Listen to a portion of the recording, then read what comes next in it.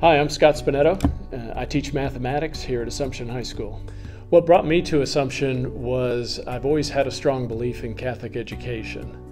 What's kept me here is that we actually do what we say.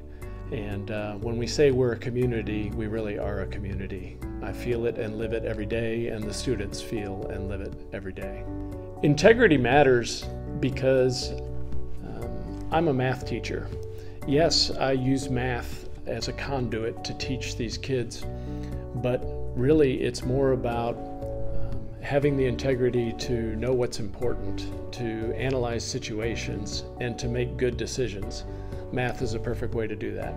Each time an alum comes back to Assumption and knocks on my classroom door to say hi and let me know how they're doing, um, that totally makes my week. So those are the best memories by far.